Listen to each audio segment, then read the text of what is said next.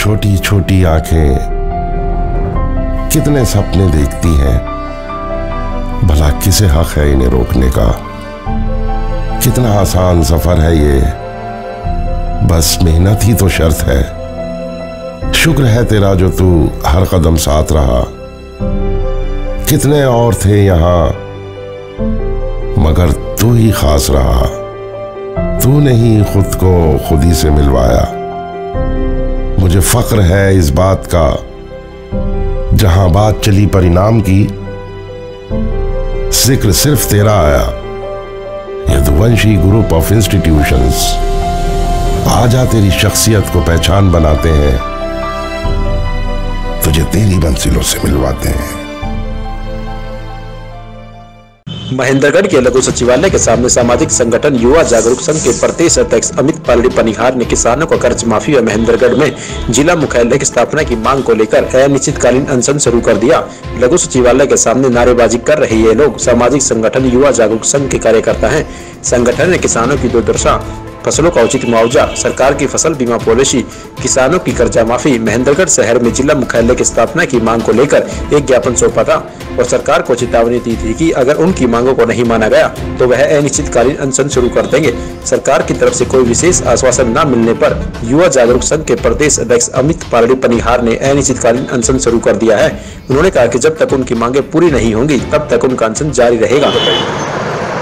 इतनी जो किसानों की समस्याओं को लेकर के हम आज सुबह 10 बजे से अनशन पर बैठे हैं। किसान के लिए हमने जनवरी के अंदर जो एक मुख्यमंत्री के नाम एसडीएम साहब को ज्ञापन सौंपा था, जिसमें किसानों की समस्याओं को लेकर के हमने ज्ञापन दिया था। हमारी मेन जो मांग है, वो किसानों की कर्ज माफ़ी को लेकर के है, क्योंकि किसान ही एक ऐसा है जिसकी वजह से जो हमारे देश की अर्थव्यवस्था जो है वो मज़बूत होती है। और किसान सब कुछ अर्थव्यवस्था को मज़बूत करता, फिर भी किसानों के साथ इतना बड़ा जो अन्याय हो रहा है कि किसानों का कर्ज माफ़ सरकार नहीं कर रही है। दूसरी मांग किसानों के लिए है कि उनका जो है, समय के ऊपर खाद, बीज, बिजली, ये सब मिले, जो किसान की मूलभूत सुविधाएँ हैं, उनके ऊपर सरकार गौर करे, उनको जो है सब्सिडी दे। और तीसरी मांग जो है हमारी है कि किसानों का जो बीमा है वो बिल्कुल सरकार अपनी तरफ़ से फ्री में करवाए, ताकि सर किसानों को फ़ायदा मिले उस बीमा योजना का। चौथी मांग हमारी किसानों को है कि किसानों का जो समर्थन मूल्य है, वो बढ़ती हुई महँगाई को लेकर के हो, कि आप देख रहे होगे कि सभी आयोग, जितने भी चाहे वेतन आयोग भी क्यों ना हो, वो किसानों की सॉरी जनता के ऊपर जो महँगाई की मार है, उसको लेकर करके सरकारी जो मुलाजिम है, उनकी तनख्वाह को बढ़ाती है और उसी तरीके से किसान का जो समर्थन मूल्य है, वो डिसाइड करे। ये हमारी मुख्य मांग है किसान मांग जो है, हमारे जिला महेंद्रगढ़, सबसे पुराना जिला होते हुए भी, आज भी एक सिर्फ़ नाम का जिला बन के रह गया है और जिसके सारे मुख्यालय जो है, वो नारनौल के अंदर स्थापित है। तो हमारी मेन दूसरी मांग यही है कि जो है जिला मुख्यालय जो है वो महेंद्रगढ़ ज़िले का महेंद्र ज़िले में होना चाहिए।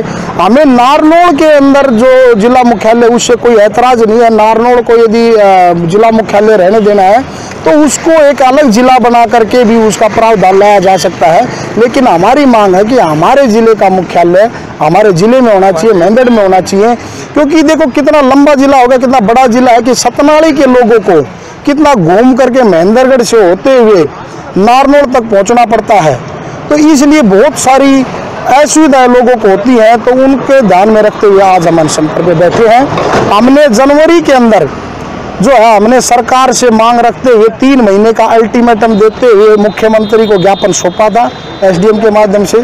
लेकिन अभी तक उन मांगों के ऊपर कोई सरकार ने संज्ञान नहीं लिया, उन मांगों के ऊपर कोई गौर नहीं किया। बीच बीच में हमने फॉलोअप भी किया। तो उनके ऊपर कोई भी सरकार ने ध्यान नहीं दिया। उन सब बातों को ध्यान में रखते आज फिर फाइनली हम अनशन पर बैठे Shri Krishna senior secondary school Mahendragarh, जहाँ से शुरुआत होती है बच्चे के उज्जवल भविष्य की। श्री कृष्णा स्कूल ने दिए हैं बेहतरीन डॉक्टर्स इंजीनियर्स सैनिक, वैज्ञानिक, अध्यापक और इसके साथ साथ ही प्रशिक्षित कोच और बेहतरीन खेल सुविधाएँ। श्री कृष्ण स्कूल है महेंद्रगढ़ का एकमात्र cell smart school. Hostel facility available for boys and girls तो आइए हमारे साथ एक नई शुरुआत के लिए Sri Krishna Senior Secondary School Mahendragarh, affiliated to CBSE new Delhi. अधिक जानकारी के लिए हमसे संपर्क करें 901 711 941 670 4560 हमारी वेबसाइट है www.sks.edu.in